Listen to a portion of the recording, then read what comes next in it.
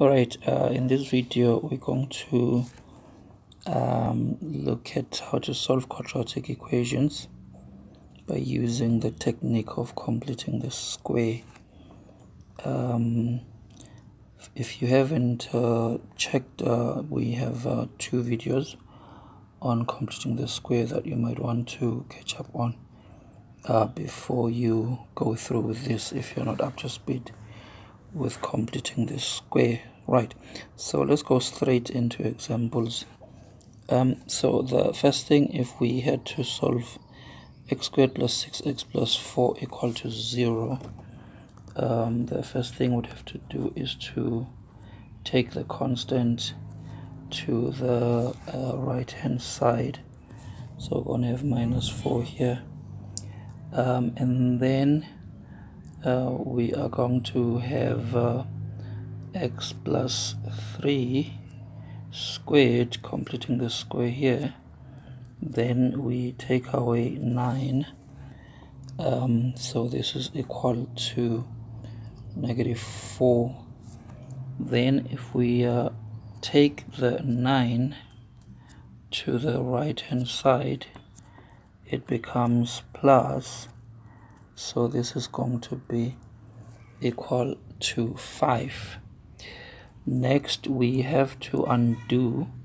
the square here and that we um, we do by taking the square root on both sides. Um, on the right hand side this is going to give us plus or minus 5 uh, this is because um, whenever you have uh, say uh, u squared equal to 25 so this is saying uh, look for a number u which says that if you square it you get 25 but there are going to be two of such numbers you know 5 squared is 25 negative 5 squared is also 25 so um, so that's why whenever we take the square root we uh, do plus or minus. All right um, and so here we can now write the solution for x. It's going to be plus or minus sorry minus 3 plus or minus square root 5 so there are two of them. So the one is uh, minus 3 plus root 5 the other one is minus 3 minus root 5 then of course one of the good things with uh, quadratic uh, or equations in general is that we can um, check our answers by plugging into the original equation. So here if we um, um, take uh, negative 3 plus square root 5 for instance. Um, so negative 3 plus square root 5 okay then uh, I am going to save this to memory. So I'm going to do store. I'm going to store it as x okay then um, if we um, substitute here then x squared plus 6x should give us negative 4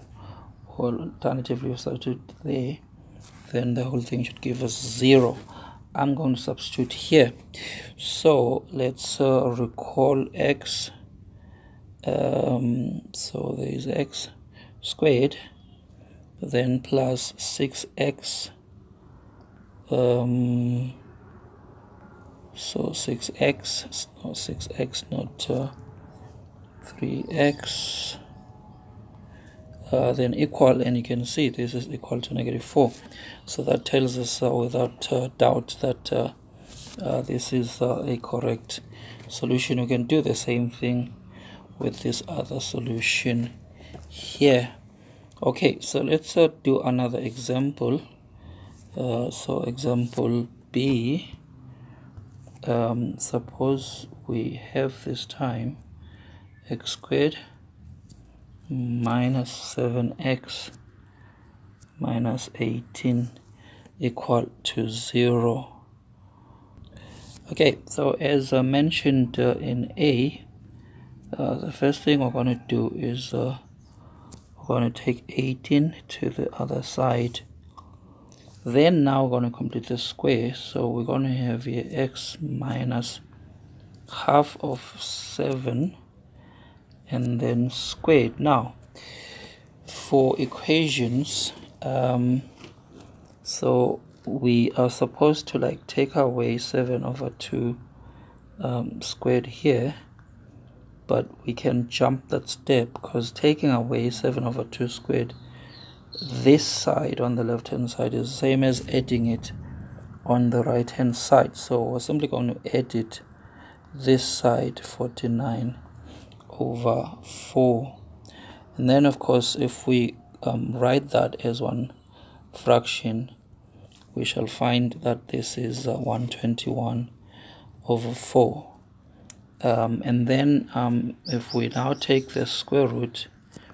we're going to have x minus 7 is plus or minus the square root of 121 over 4 square root 121 is 11 square root 4 is uh, 2 then now um, we can find x by taking 7 over 2 to the right hand side where it becomes plus so for the case where um, we've got a plus we're going to have 7 plus 11 which is 18 over 2 then 7 minus 11 is going to be minus excuse me 4 over 2 so this is going to be 9 or negative 2 again these we could uh, check by plugging into the original equation. Okay an example number C. Uh, suppose uh, we have this time an equation where the coefficient of x squared is not 1 um, I'm going to work through this one uh, using two approaches again the flexibility because we now have an equation. There are some things that we can do which we were restricted with uh, or which we couldn't do for expressions. Okay so first thing if we take 2 to the other side then we said we factor out 3 here. So that's going to be x squared minus 4 over 3 x is equal to 2 right and then we said we complete the square inside the square bracket. So it's going to be 2 thirds squared minus 4 over 9 is equal to 2 um, what we could do at this point is to bring because remember the ultimate aim is to make x the subject of the formula here. So we could just bring the 3 across to the uh, right hand side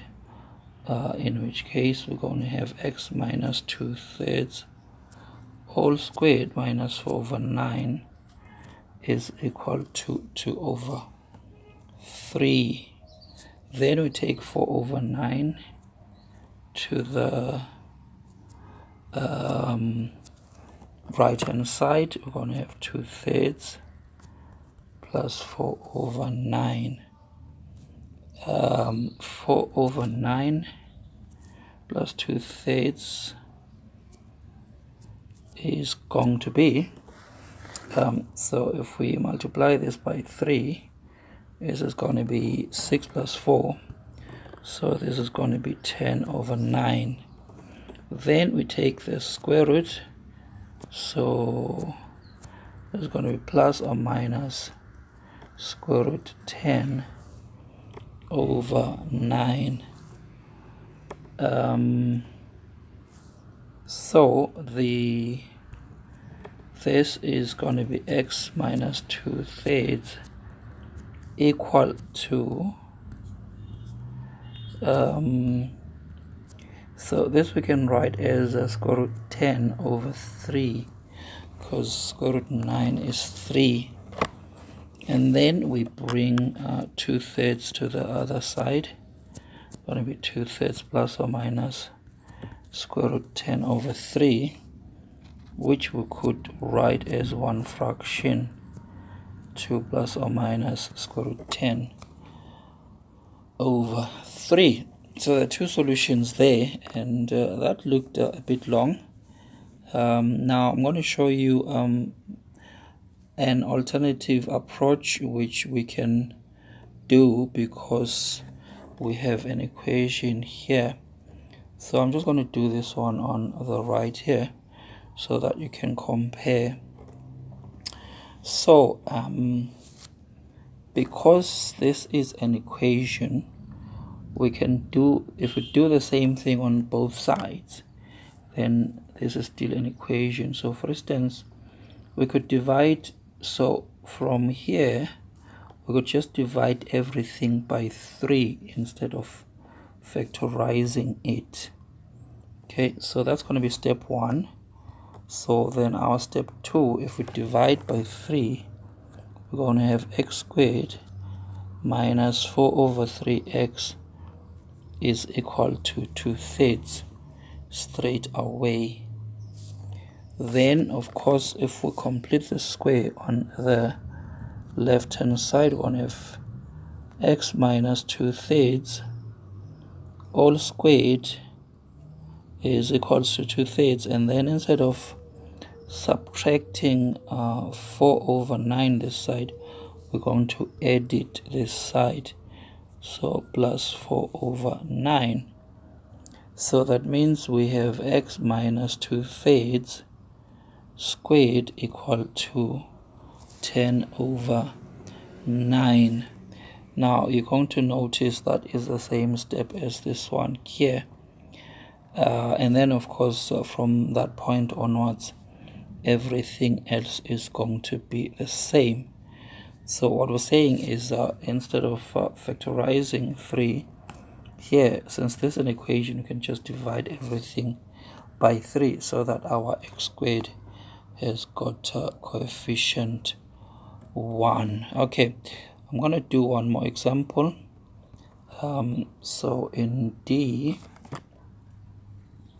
suppose we have uh, uh, 7 minus 10x minus 2x squared is equal to 0 so again here the coefficient of x squared is negative 2. Um, so instead of factorizing negative 2 here,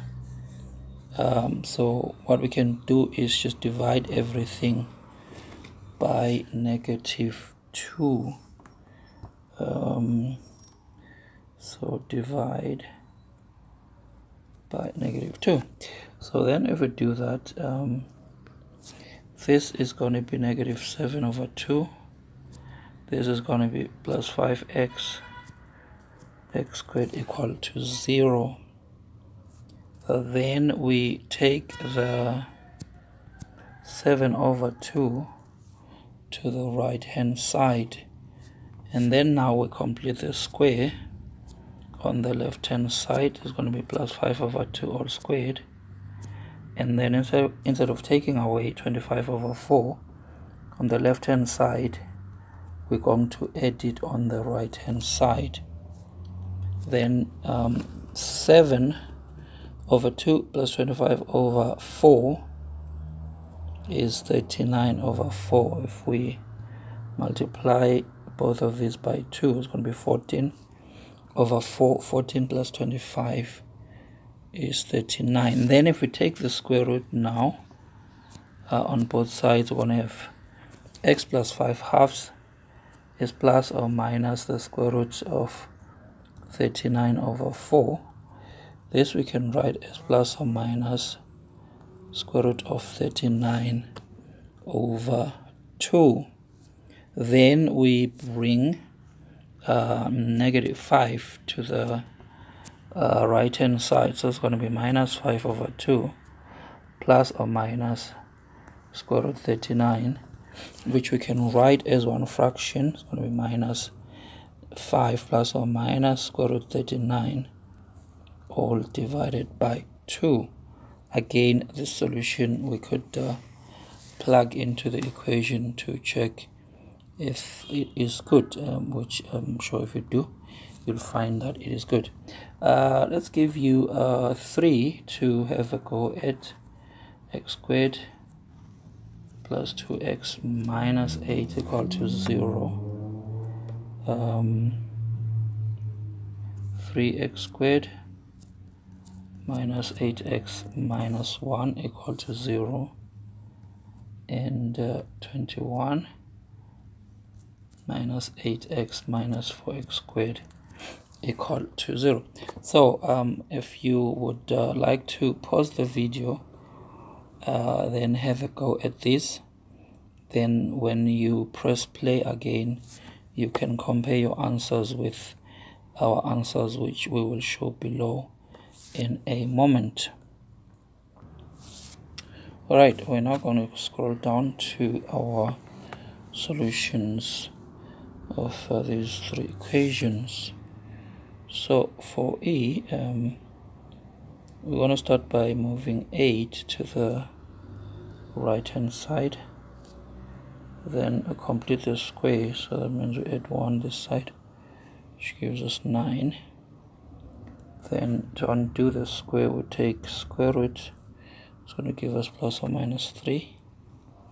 um, then we bring plus 1 to this side it becomes minus. So that means uh, our solutions are going to be either 2 or minus 4 okay with this one again we take negative 1 to the other side. Then we divide everything by 3 um, then we complete the square this side. Means we're going to add 16 over 9 this side which gives us 19 over 9 we take the square root gives us plus or minus square root 19 over 9 which we can write like that because square root 9 is 3 and so our solution we can write like this is uh, one fraction uh, this time um, again uh, we if we divide everything by negative 4 uh, then this is what we're going to get. Notice that here uh, alternatively um, if we bring these terms to the right hand side to have 29 is equal to 4x squared plus 8x then if we divide everything by 4 then we're going to have this which is exactly the same as that step there. Then if we complete the square on the right hand side that means we add 1 so it's going to be 25 over 4 we take square roots that gives us plus or minus 5 halves. Bring 1 to this side. Then these are going to be our two solutions right